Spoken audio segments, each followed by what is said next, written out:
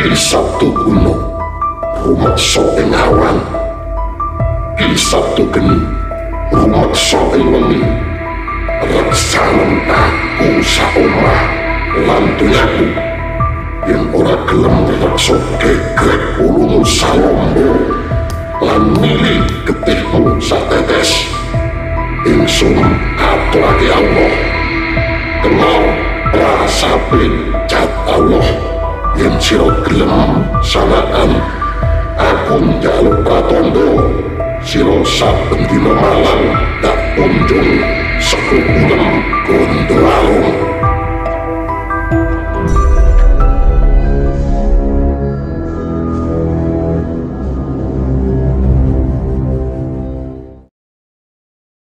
Bismillahirrahmanirrahim. Assalamualaikum warahmatullahi wabarakatuh. Rahayu, rahayu, rahayu. Sahabat jelajah supranatural di mana pun Anda berada, saya doakan panjenengan selalu lancar rezeki dan dimudahkan segala urusan. Jangan lupa subscribe, tekan tanda lonceng dan bagikan video ini sebanyak sebanyak-banyaknya. Kali ini saya akan mengupas tuntas, membuka tabir rahasia tentang jodoh dan rezeki kelahiran weton Rebu Pon.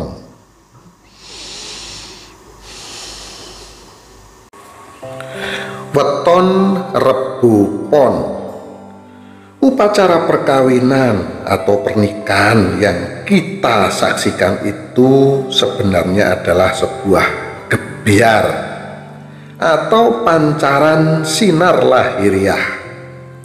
Suatu pernikahan adalah perjanjian luhur antara laki-laki dan perempuan untuk menjadi suami istri secara resmi yang sah di hadapan Tuhan dan sah di hadapan hukum sosial dengan segala kewajiban dan tanggung jawab pada keduanya.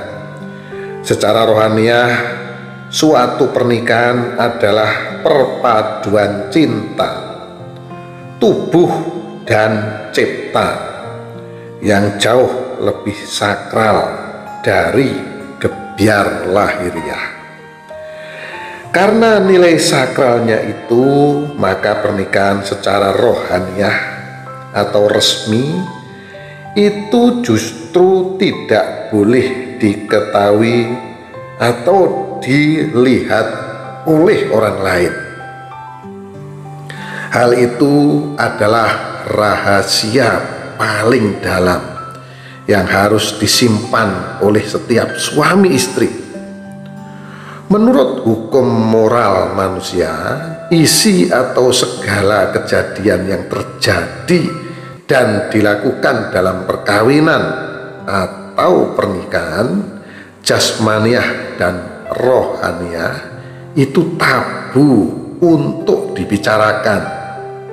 Apalagi digelar rincian kejadian atau lakunya di hadapan orang lain.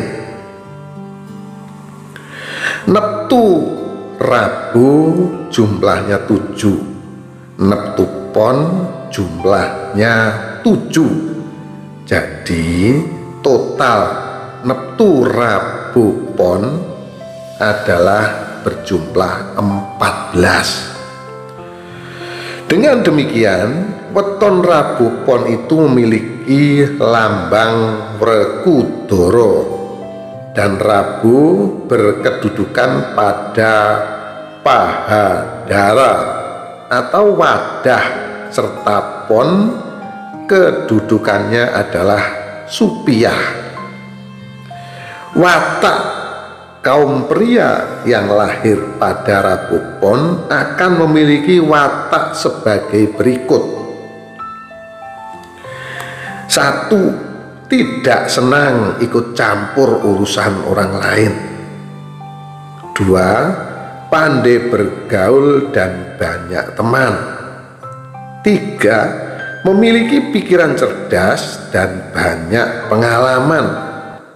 Yang keempat, kalau memiliki maksud selalu disimpan di hati dan tidak ingin orang lain mengetahuinya.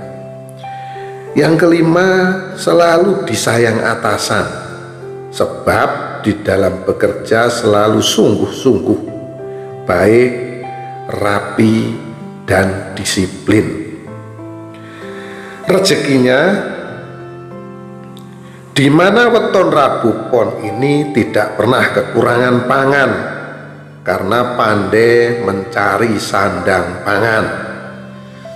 Meskipun hanya sebagai buruh dan akan lebih baik lagi bila diselingi dengan dagang. Selain itu, weton Rebu Pon juga memiliki banyak keturunan bila sesuai jodohnya dan arah mencari rezekinya harus ke timur dan selatan.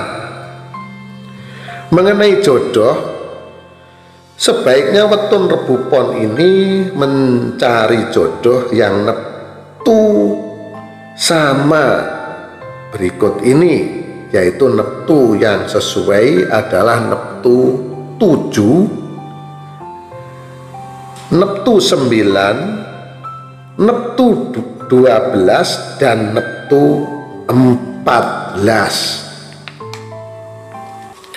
Jika menikah dengan Neptu yang disebut di atas maka weton rebupon akan bahagia dan tidak kekurangan pangan tetapi bila salah menghadap rumahnya akan mengalami kesulitan pangan sebab rezekinya kurang lancar.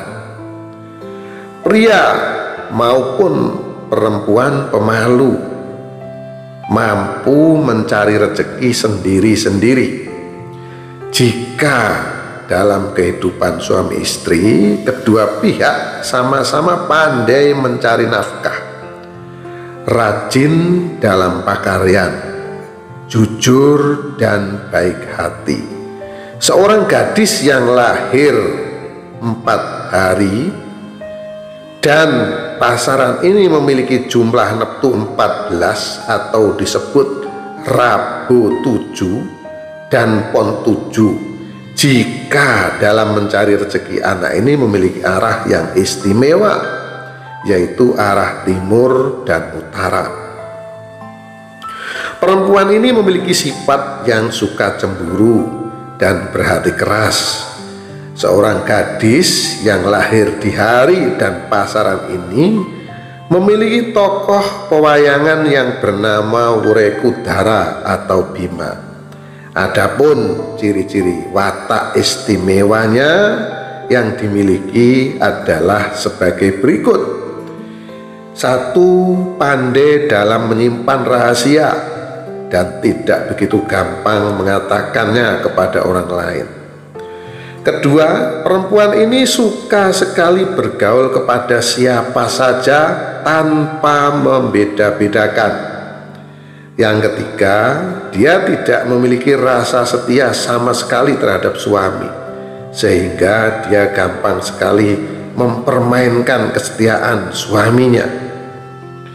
Yang keempat, sangat banyak rezekinya sehingga kalau sudah bersuami nanti akan menimbulkan kemudahan bagi suaminya dalam mencari kebutuhan sehari-hari. Demikian yang saya sampaikan rahasia jodoh dan rezeki weton rebupon. Mohon maaf atas segala kekurangan, kata-kata yang kurang sopan mohon dimaafkan. Akhirul salam wabillahi taufiq walidayah. Wassalamualaikum warahmatullahi wabarakatuh. Rahayu, rahayu, rahayu.